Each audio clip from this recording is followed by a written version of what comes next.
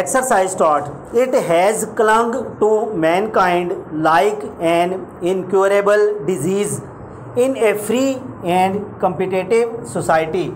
Investment of capital can yield only reasonable returns in the long run.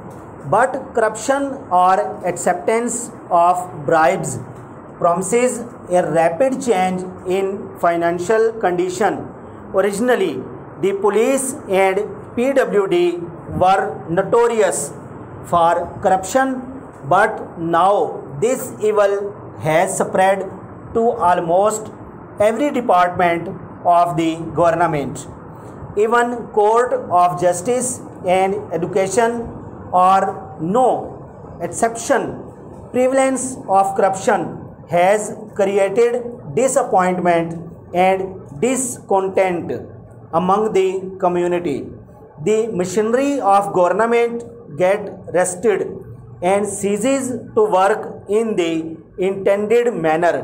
Corruption decreases respect for law and sense of allegiance to the government. In a society governed by corrupt officials, the whole system of moral, ethical, and religious values is impaired. The distinction between right and wrong disappear. Revolution and military takeover become common.